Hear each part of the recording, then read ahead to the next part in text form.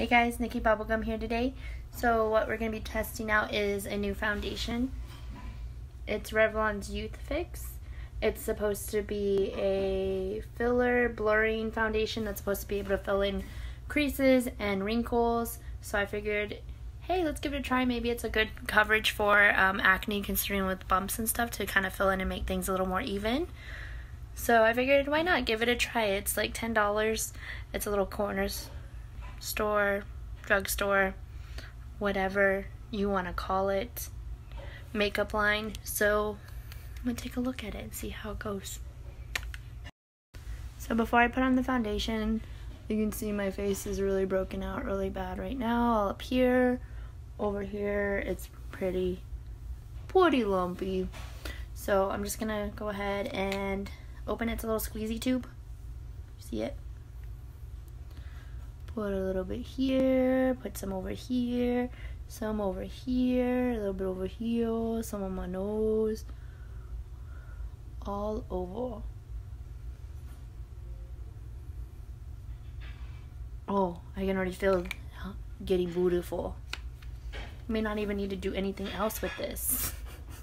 so I'm gonna go ahead and get my sponge and blend this shit out. Do do do do. Blendy, blendy, blendy.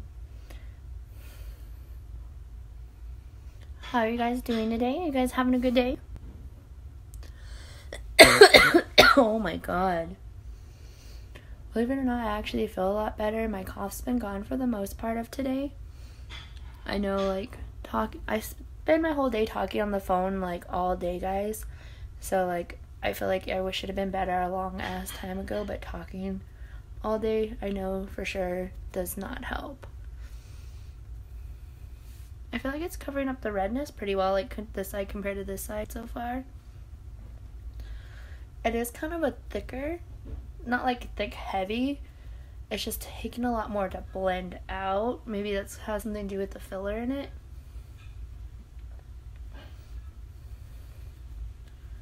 It's a little more tacky than liquid. It does definitely really cover up the redness. Don't like how much, how long and how much it takes to blend this shit out. I also kind of wish it was a little more matte. I don't like how shiny it is. Considering like I'm always hella crazy with the highlighter, you know this be real shiny. And then like this area gets kind of greasy too. I almost bought the this L'Oreal Super Matte Foundation to try out too. But then I saw this little filler one and figured why not give it a try.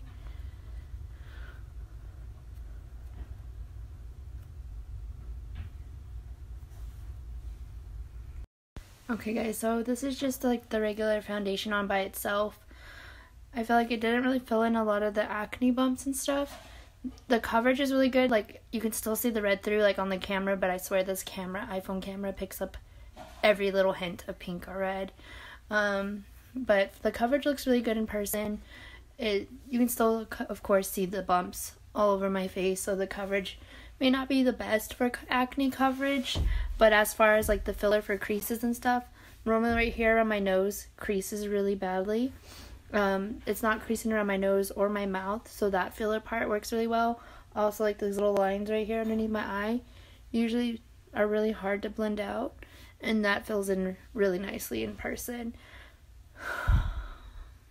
like it looks a lot better. It looks nicer in person. But yeah, I wish the coverage was a little better.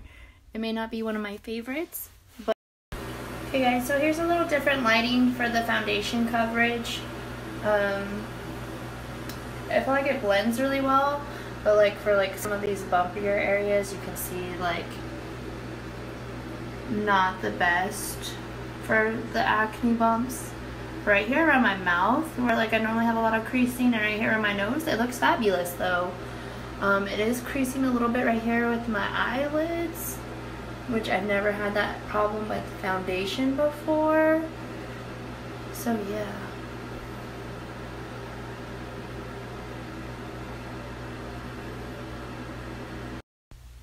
So overall, I'd give the foundation like a three. It may not be the best for acne coverage. I'd say for like light to like moderate bound acne, I would definitely suggest it highly for that. But as far as like uh, more severe acne, like cystic acne and stuff, I feel like it kind of brought out the bumps a little bit more. Um, it didn't really hide the creases and stuff. So if you have a problem with like creases around your nose and your mouth and stuff, definitely suggest giving this a try. But overall, not that impressed for like acne coverage. I wish that the coverage was a little higher considering how thick it is because you can still see the red in my nose and my cheeks.